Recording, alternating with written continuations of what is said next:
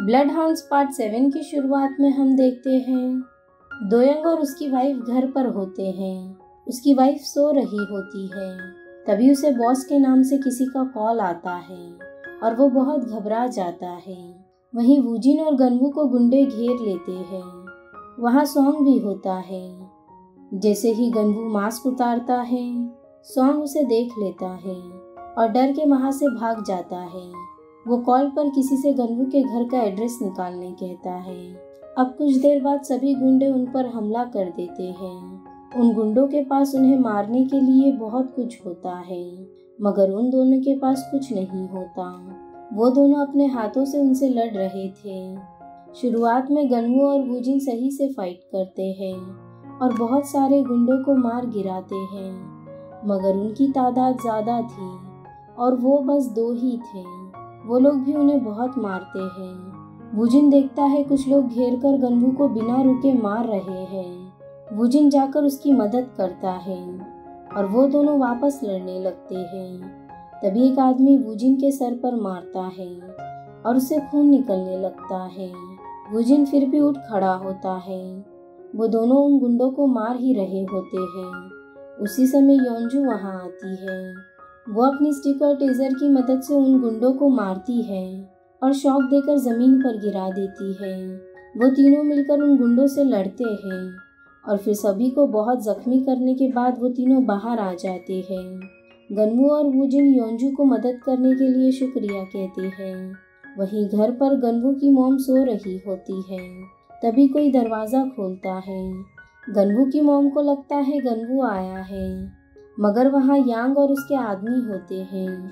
वो गन्वू की मोम को बेहोश कर देते हैं और उन्हें लेकर वहाँ से जाने लगते हैं।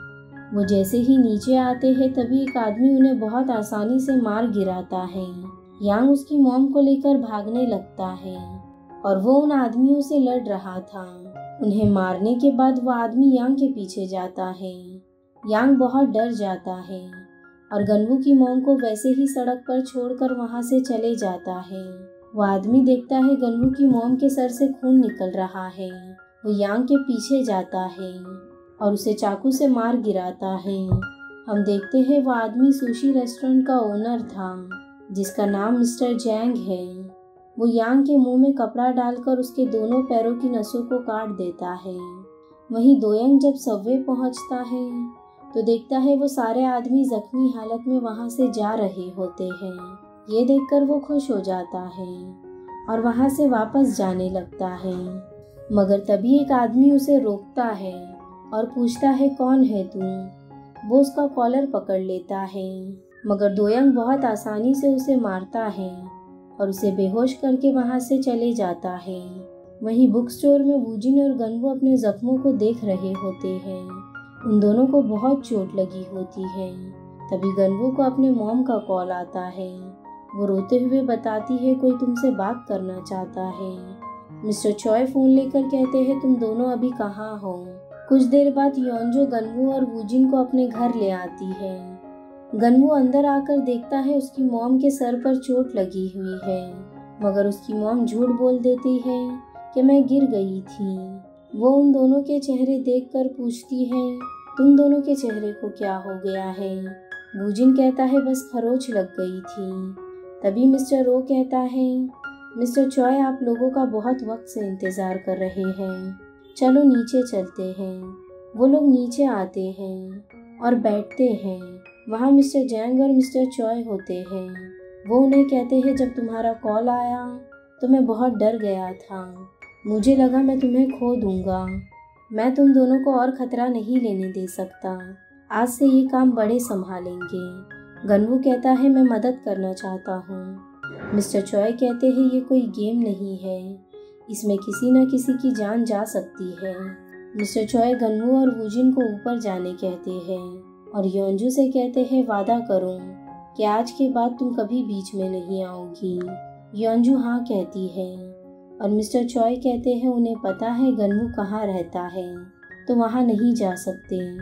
कल उसकी मोम को अनाथ आश्रम ले जाना। अभी के लिए वो वहाँ सेफ़ है। मिस्टर चॉय मिस्टर जैंग से पूछते हैं, अब हम क्या करें? वो कहते हैं, मैं उसे ख़त्म कर दूँगा। मैं कल ही दोयंग के साथ मिलकर उन्हें एक एक करके ख़त्म कर दूँगा। मिस्टर चॉय कहता है, ठीक है। फिर वो अपना लॉकर खोलते हैं, जहाँ बहुत सारा पैसा और सोना होता है।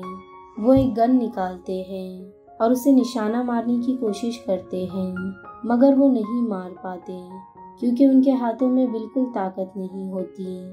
अब अगली सुबह किम हॉस्पिटल जाता है, जहाँ उसका डॉक्टर उसे बताता है, एक आदमी के दोनों पैरों की नसों को काटा गया था और दूसरे के कंधों की नसों को किम अंदर जाता है और उनसे पूछता है वो कैसा था। यांग बताता है उसकी स्पीड बहुत तेज थी और वो चाकू चलाने में एक्सपर्ट था और उसके हाथ में साशिमी चाकू थी। ये सुनकर किम हंसता है, वो बाहर आता है और सॉन्ग से कहता है बॉम को बुलाओ हमें एक बजे तक मीटिंग करनी है। वहीं मिस्टर जैंग अपने रेस्टोरेंट में होता है। उसका पार्टनर कहता है, मैं भी मदद करना चाहता हूँ। मिस्टर जैंग कहते हैं, मैं उसे खुद संभाल लूँगा। तुम अपनी ज़िंदगी जियो। ये कहकर वो अंदर चले जाता है। जैंग अपनी टी शर्ट उतारता है। हम देखते हैं उसके पूरे बैक पर टैटू बना हुआ है, जो कि किसी वॉरियर के पीछे बना होता है। फिर वो एक रेस्टोरेंट में दोयंग से मिलने जाता है। वो दोनों एक दूसरे से इतने साल बाद मिलकर बहुत खुश होते हैं। दोयंग उसे बताता है आयल ग्रुप ने एक अंडर कंस्ट्रक्शन होटल खरीदा है और स्माइल कैपिटल ने पैसे इन्वेस्ट किए हैं। मगर वो लोग किम से पैसे क्यों लेंगे? जंग कहता है किम ने ज़रूर कुछ किया होगा। पता करते हैं और उसे ख़त्म कर देते हैं। मिस्टर चॉय ने इजाज़त दे दी है। ये सुनकर दोयंग थोड़ा घबरा जाता है। वहीं किम सॉन्ग इनबॉम और जेंगडू को बताता है। बहुत साल पहले मिस्टर चॉय के लिए पाँच चाकूबाज काम करते थे। उस वक्त वो बड़ी बड़ी कंपनियों को लोन दिया करते थे। तो मार्केट में वो करोड़ों में खेलते थे। इसलिए ये चाकूबाज जो थे, वो रातों रात किसी भी गैंग को ख़त्म कर देते थे। बड़े बड़े गैंग के लोग भी मिस्टर चॉय के चाकूबाज से डरते थे। मगर मिस्टर चॉय को हटाने के बाद, मैंने सिर्फ़ इनबॉम को साथ में लिया और उन चाकूबाजों को हटा दिया, क्योंकि मैं भी उनसे डरता था। हमने दो अलग अलग गैंग्स को भेजी थी और वो अलग अलग थे, इसलिए हार गए। अगर साथ में होते तो ये कभी पॉसिबल नहीं था। मगर फिर भी दो सबसे शातिर हाथ से निकल गए, दुयोंग और जैंग दुयोंग को मैंने देखा था, वो काफ़ी शातिर था और एक ही बार में किसी को भी ख़त्म कर देता था। और मिस्टर जैंग ने 20 लोगों के पैरों की नसें काट कर उन्हें अकेले अपाइज कर दिया था। वो दोनों जेब में चाकू रखता था। फिर सॉन्ग बताता है वहाँ दो लड़के थे और कुछ देर बाद एक लड़की भी वहाँ आ गई। किम उन लोगों को बताता है मिस्टर चॉय के पास कम से कम पाँच हज़ार करोड़ कैश होगा। वो जैंगडू और इनबॉम को वहाँ जाकर पैसे ले आने कहता है। अब अगले दिन बूजिन और गन्नू जाकर वो अनाथ आश्रम देखते हैं, जहाँ उसकी मोम रहने वाली होती है। अब कुछ देर बाद एक आदमी दोयंग को बताता है आयल ग्रुप वाले का आदमी होंग जैसे ही उस पेट्रोल पंप के अंदर गया, उन्होंने उसे बहुत मारा और उसके कपड़े उतारकर उसका एक वीडियो भी बनाया। अब रात में mister Ong mister Choi, mister Jang और डोयंग को किम के ग्रुप के सारे करीबी लोगों की जानकारी देते हैं, जिसमें सॉन्ग और जैंगडू खास होते हैं। दोयंग कहता है, मैं सोंग को संभाल लूँगा। मिस्टर जैंग कहता है, खत्म कर देना उसे। मगर दुयम थोड़ा डरा होता है। मिस्टर जैंग कहता है, किम को मैं देख लूँगा। मिस्टर चॉय बताता है, जिसने मुझे उस वक्त खिड़की के बाहर फेंका था, वो कौन था?